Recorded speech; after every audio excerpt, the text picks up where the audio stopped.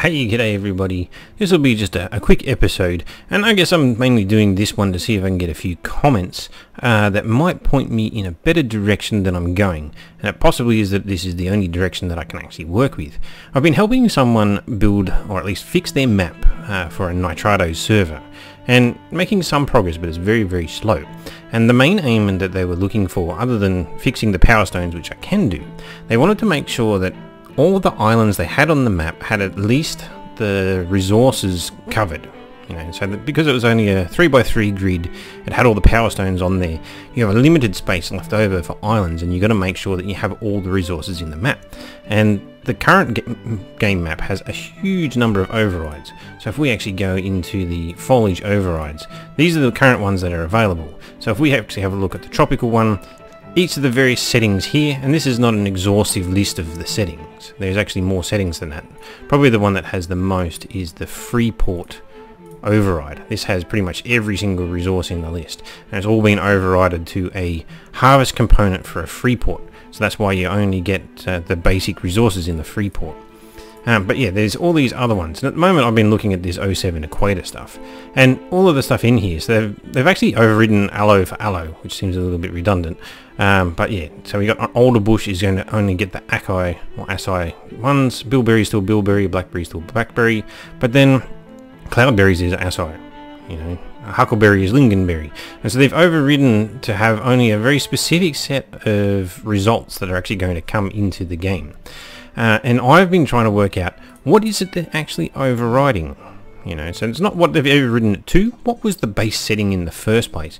So obviously you could play the game, remove all of the overrides and just play with the base islands until you work out what's on there. There's some stuff on the wiki, there's a bit of stuff out there, there's, but you know, nobody, well, possibly somebody does know for sure exactly what's in there.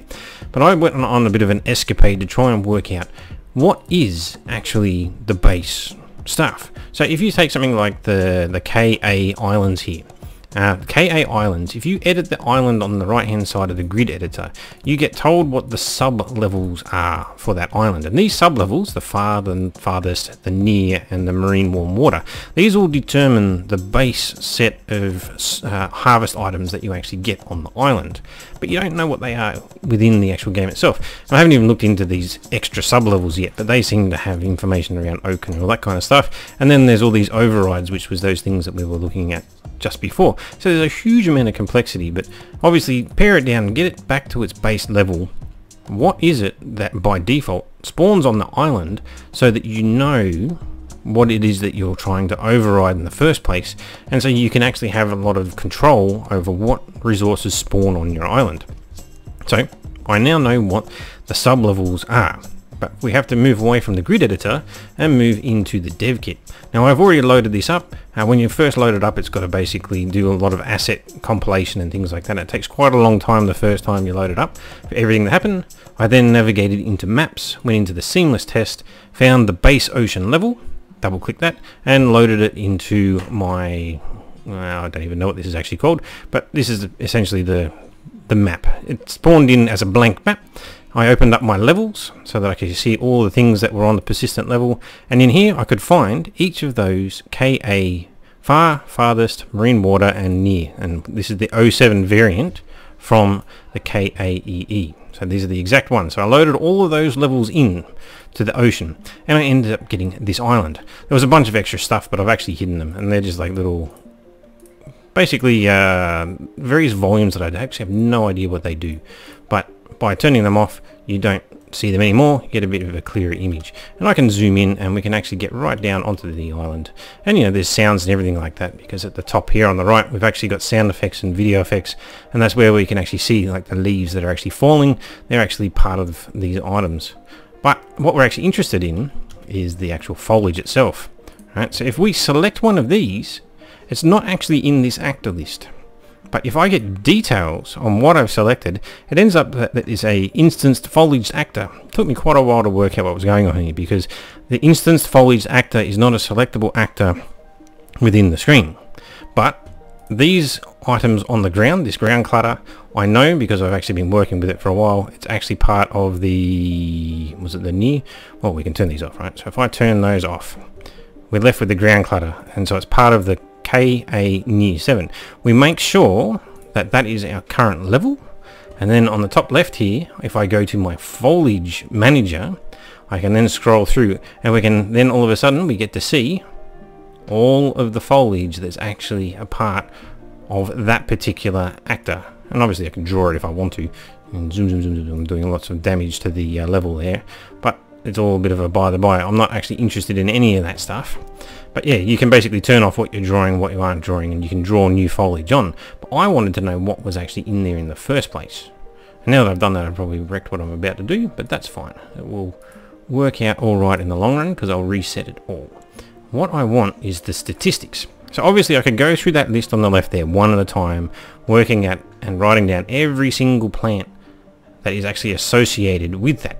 What I worked out is that I can actually pull up the statistics on the map and it will actually tell me all of the stuff that's been rendered via the levels. And this has even got the stuff that I actually just made invisible right? Because that's where the coconut palms are actually the trees that I just made invisible.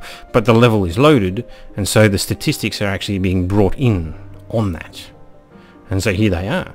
And so this is actually seems to be a full list of every single foliage item on the game. And so I can actually drill down on these. And the coconut palm is probably actually a good one to do. So if I click on the coconut palm in my content browser, it will take me to the static mesh for that item. If I open up that static mesh, we can actually see uh, it hasn't actually probably loaded here, but there is actually a branch that will load eventually. It takes a little while for the uh, system to work out that there's actually something there. But this is actually one of the coconut trees. And when we actually tell it to draw the coconut tree, right, so that's basically one of these things. And the, the tree itself wasn't drawing for some reason inside there when I actually opened it up. It eventually does. It just takes a while for it to actually load. I don't know why, but it's just an Unreal Engine thing for my computer.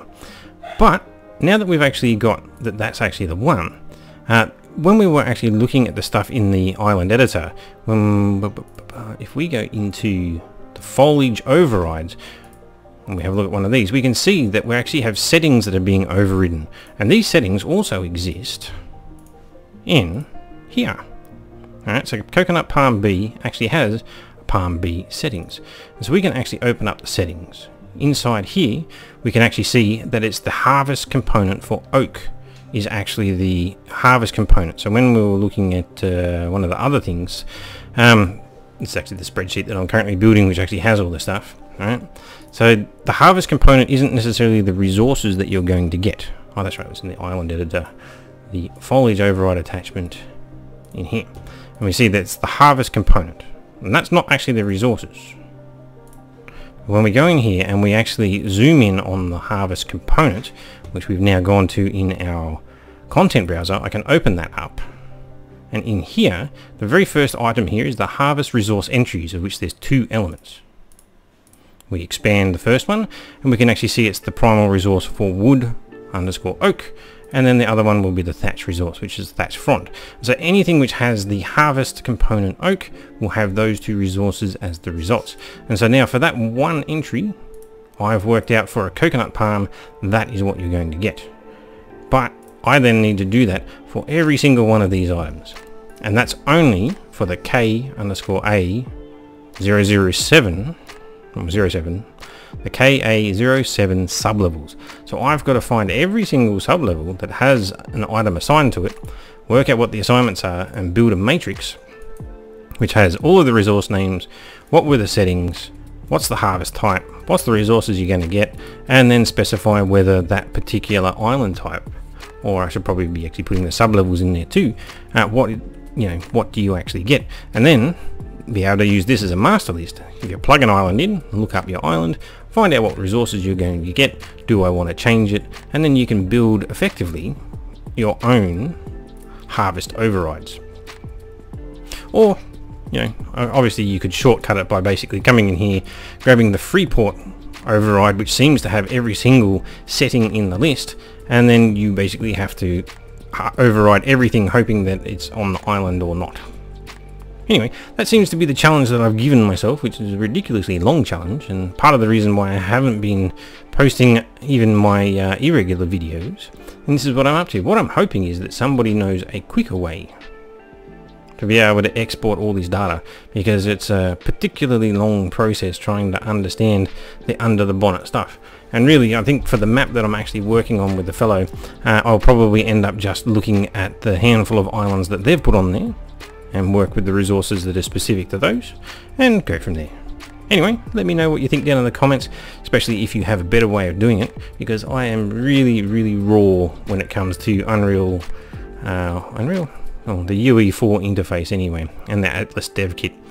Anyway, thanks for listening in, and catch you in the next one.